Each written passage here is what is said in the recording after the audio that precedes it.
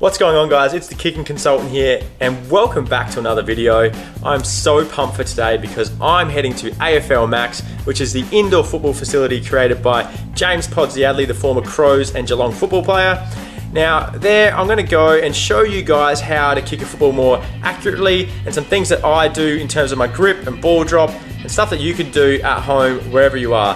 Now, make sure you stick around to the end of the video because I have a funny feeling I might be kicking a torp. I've never been to AFL Max before, so let's go check it out.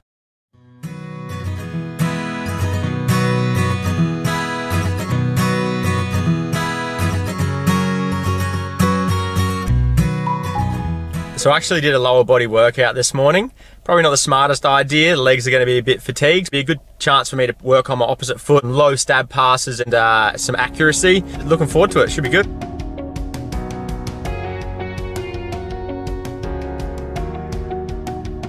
Guys, welcome to AFL Max. I want to kick some torps. You're at the right place. Let's do it.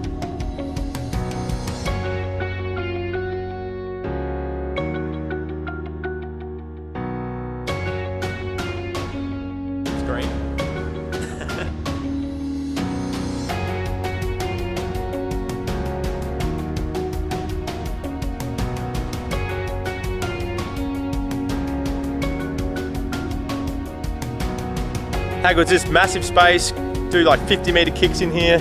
Got the footy going on, rebounders, target drills, kick some goals.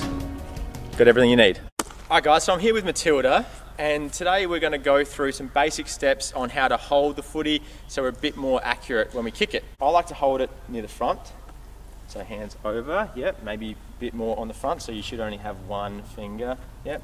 And then tilt the ball forward Oh, so let it, yeah. So holding the front of the footy, mm -hmm. letting it cradle in your hands, and then for people that have like small hands and they can't hold it, this is perfect because it's just like sitting in there. Yeah.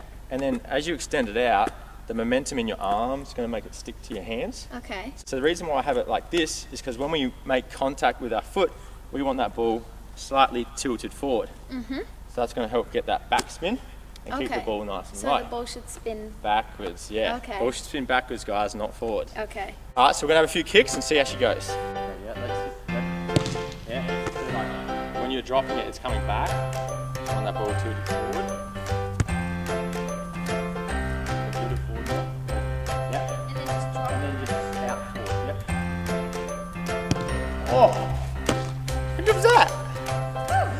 So Matilda just asked a really good question. Where should the ball come off your foot? Now, ideally, it's just on that inside of the bony part on your foot. So if you're looking at your shoe, yep. the top of your laces. Yeah. So if you feel that bony knuckle, and it's slightly on the inside, so I'm a lefty, so it's just out that side. Yep.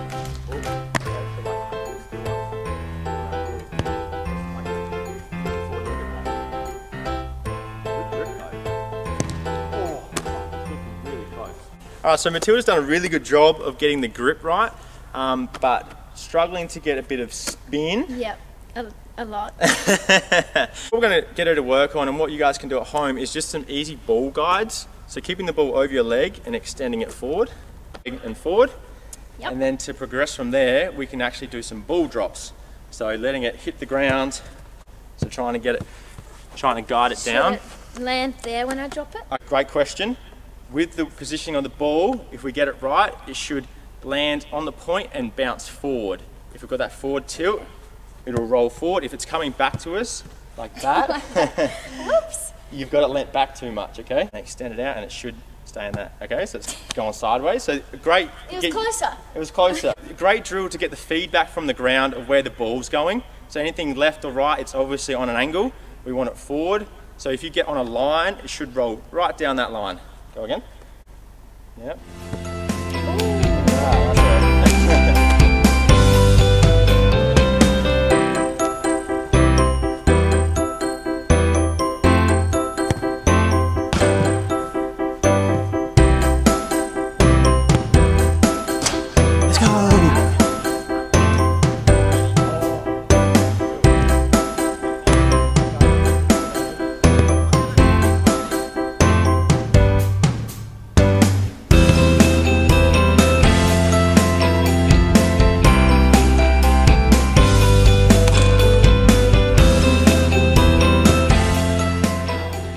Here at AFL Max, they have a really cool thing with the sharpshooter goals.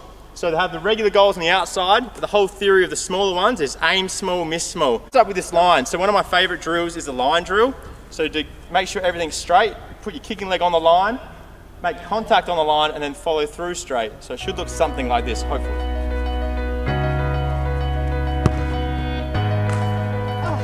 So it's been a lot of fun here so far. Hope you've been enjoying the footage. I'm gonna go check out a few other things now. We've got the wipeout, we've got the rock climbing wall, and the trampolines. Guys, make sure you like, comment, subscribe, all that good stuff.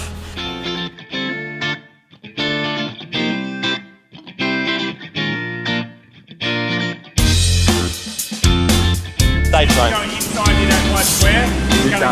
Okay. Alright. It's like our social distancing squares. it's literally like doing a burpee. Oh. I did legs this morning too.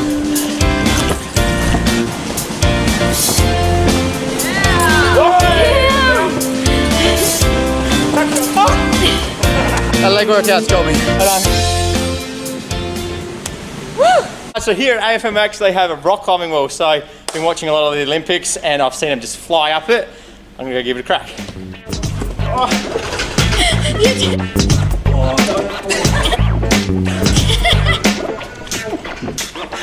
It's that leg workout this morning, it's getting me.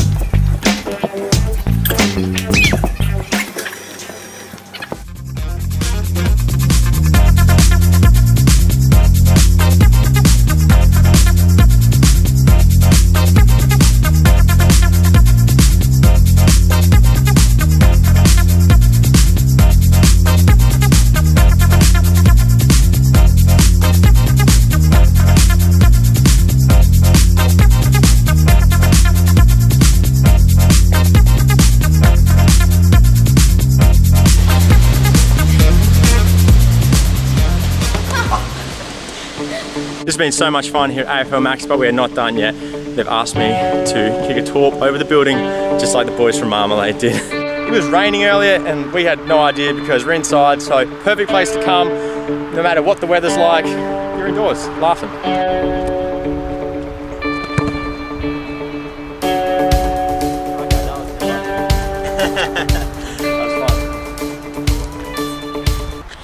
The whole theory is aims